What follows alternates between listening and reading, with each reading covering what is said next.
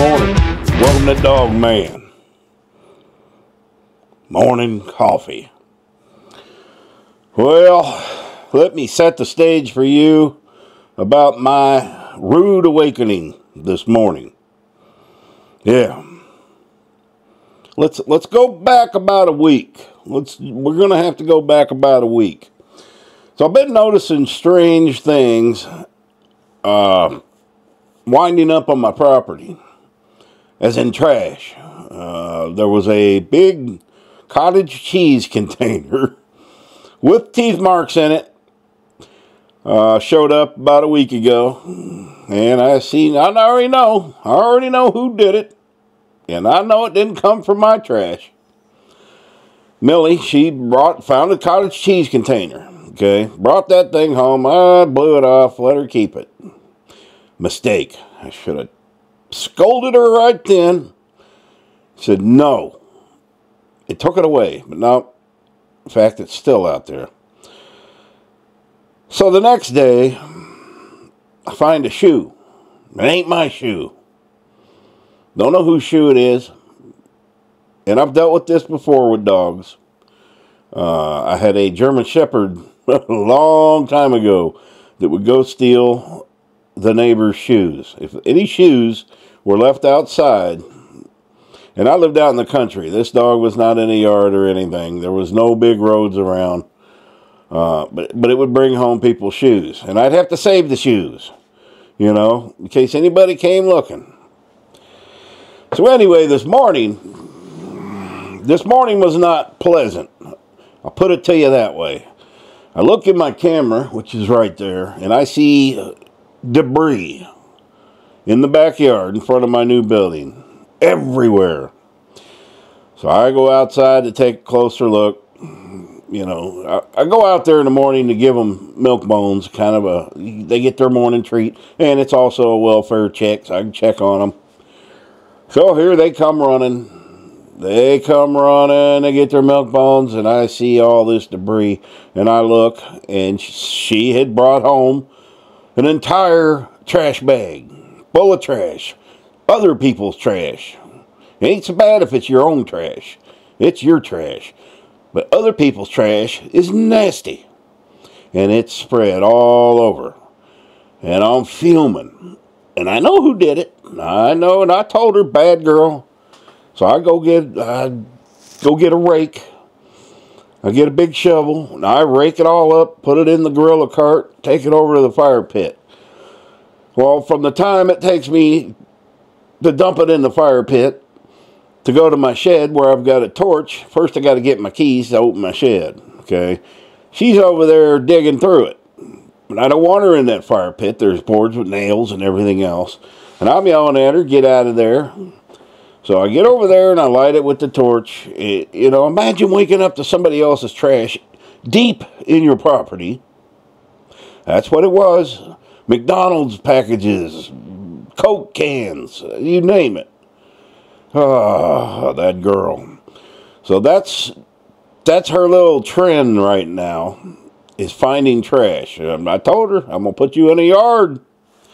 She doesn't go out at all during the day. So they, she just, you know, two, three in the morning, she goes next door or wherever she goes, and she found her a nice. She didn't didn't just bring a container home. She brought the whole bag, the entire bag, which means she didn't tear that bag open there. She just picked up the whole bag, and it was a big bag, you know, your normal kitchen size trash bag. She brought the whole thing home. I've got to get on, if I can find footage of that, uh, I'll put it in this video because it's got to be funny, but it wasn't funny when I'm out there picking it up. So I'll see if I can find footage of that and maybe we'll stick it in right here. If you don't see it, I didn't find it. Okay. Ah, uh, now if you've ever owned, if you don't own dogs, okay, they own you. But if you've ever had dogs, you know they go at certain times of their life they'll go through phases. And Lulu, I'll put a picture of Lulu right here.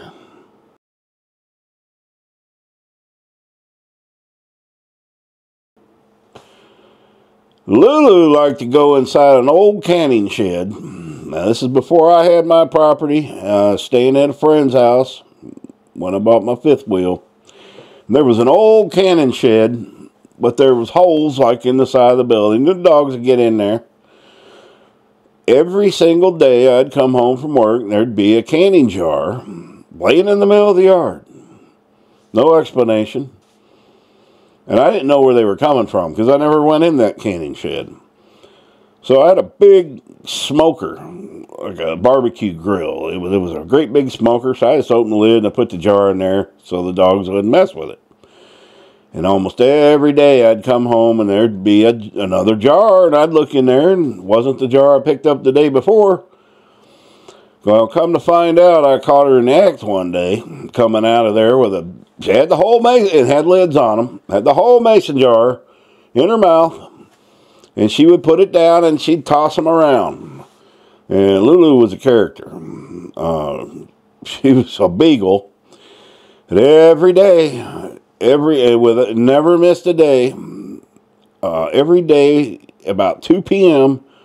she would go on a bug tangent. That's what I that's what I called it. She would just and this these would last one two hours. She would just run around the yard chasing bugs. You'd see her lurching up chasing bugs and and I don't know what she was doing. She wasn't right in the head, but that's how I knew when she got older and it was her getting to be her time. I knew she was sick because she would she didn't go on her bug tangents. And yeah, a couple days later, yep, I had to have her put down. She had, uh, you know, you would have never known anything was wrong with that dog. Uh, but she, you know, she was 10 years old for a beagle, outdoor beagle. That's that's pretty old. Anyway, dogs do go through their little phases. Uh, Waldo, uh, so I could tell you stories on things Waldo has done, and he's even weirder now that he's lost his hearing. But you bring a brand new blanket in there and give him the wall, give it to Waldo, or wash his nasty old blanket. He'll take it outside. He don't want no part of it. He will not. He don't want any part of it. So if you do introduce anything new, you got to rub it on the old nasty one. And them blankets they got need washed, but he'll drag them out.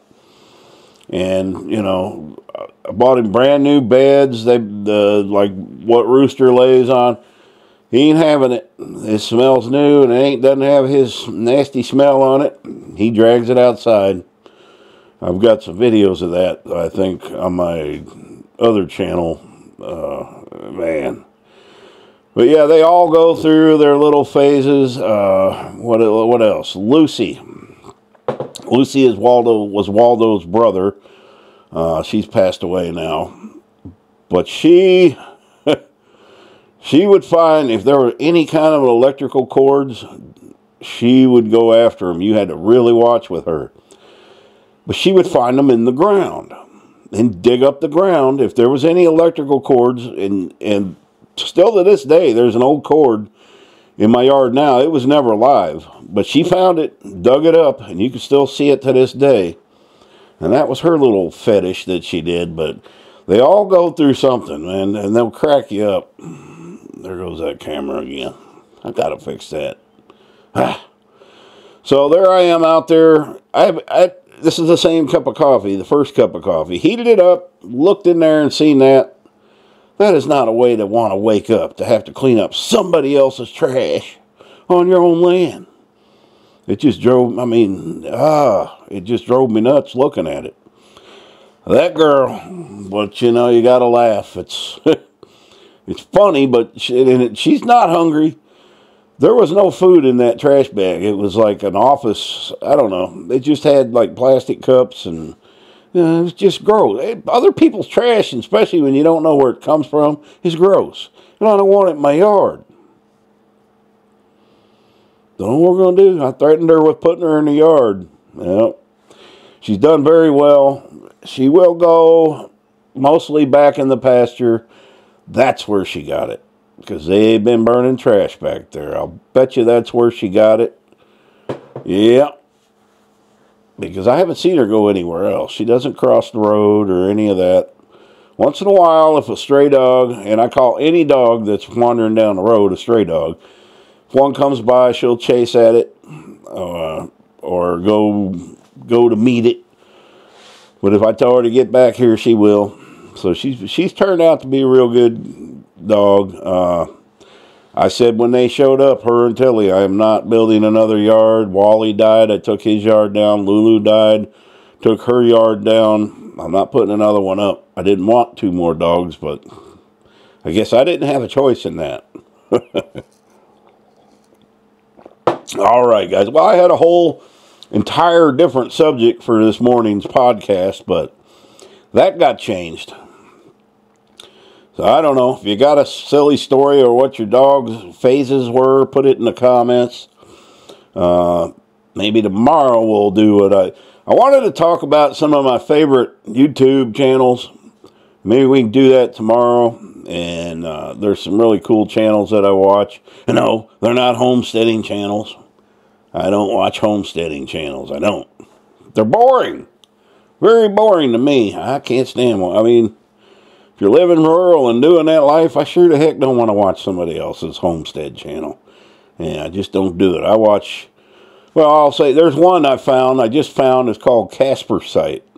I know, I probably millions of people know who he is, but he uh, checks out videos on UFOs and ghosts and things. He's got some pretty cool videos out there, but that's what the plan was for today to talk about, but I guess we'll do that tomorrow or another day because Millie done changed the subject of today's. So, all right, guys, I appreciate y'all. Hey, and if you, uh, I don't push memberships or any of that, that you know, that nonsense, but they're there. So if you wouldn't, you know, like to support the channel, and it's growing very well here, so I appreciate that. But number one, hey, you know, if you enjoy the channel, think about subscribing. It's free. I know a lot of people today, they don't understand. Subscribing doesn't cost you a thing. All it does, it helps the channel out. You don't even have to subscribe, just watch. Uh, you know, 70% of the people that watch YouTube videos are not subscribed. But it's nice to have, you know, people subscribe that'll come back every day. And there's people that never subscribe, but they come back every day. I don't know. But it is free. A lot of people are misguided on that. So it doesn't cost you nothing. And I do have some very cheap memberships. I don't know. I don't do much with that, but it helps.